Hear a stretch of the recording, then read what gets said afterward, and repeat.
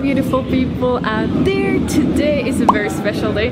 Today I am taking photos on a coffee tour here in my favorite restaurant in Salento. It is the restaurant called Brunch and they just started the coffee tour and I'm upstairs taking their photos. And yes, look. Look, be reflected like two minutes after we do something to the machine. If we had hot roasted machine, you will love this coffee. I know you're feeling it, but this one has a really special flavor. Really special flavor. Okay? And I think Isabel will love the last one.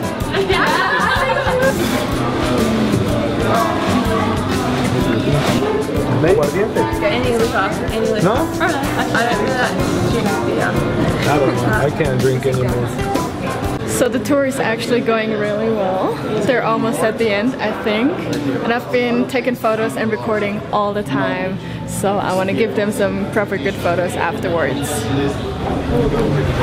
So, like it was just so natural and so welcoming and then spending like the last two hours here you know like it's been so fun and so memorable but I think it's the passion and seeing all you guys work together in the environment like you're doing this but you're also giving the tastings to other staff members and like it's just it's a really beautiful environment Thank you. Thank you so much. really really like what you're doing is amazing but it's also the way that you're doing it I think that's yeah they're really Hello you beautiful people out there. So today I already took some photos of a coffee roasting tour and now it's time for me and Ricardo. You know him from the other videos.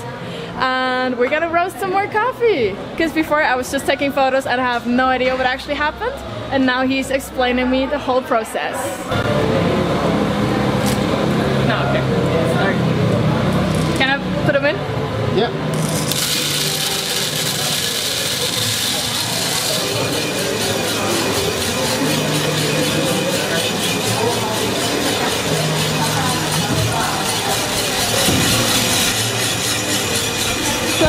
This machine actually roasts the coffee beans. These are the, how do you say, unroasted?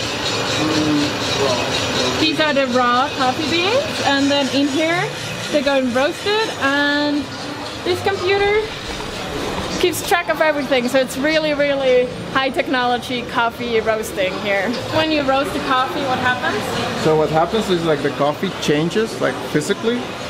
You're getting all the water out. So you're actually dehydrating coffee. And after the coffee it's dehydrated, you will start getting the oils out. And when you get the oils, you will be actually having this chemical process where the real, like the particular flavors of coffee will come out. You need to get to that precise place where you have the best flavors there, but not too far where the heat actually changes them and kills them. What he says.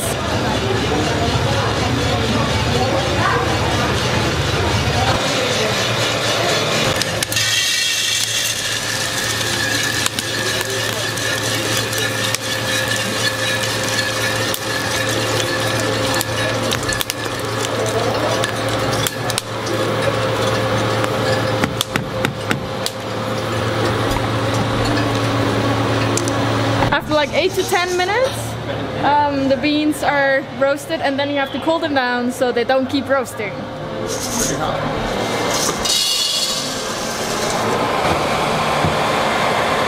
They're actually on a fan so they can cool down and don't change their quality right now. That's roasting coffee here at the brunch restaurant with my friend Ricardo and all these beautiful people here. hello. all my new friends. And that's it for today. I hope you enjoyed it. Don't forget to subscribe and comment and like if you want to support me. And see you tomorrow. Bye.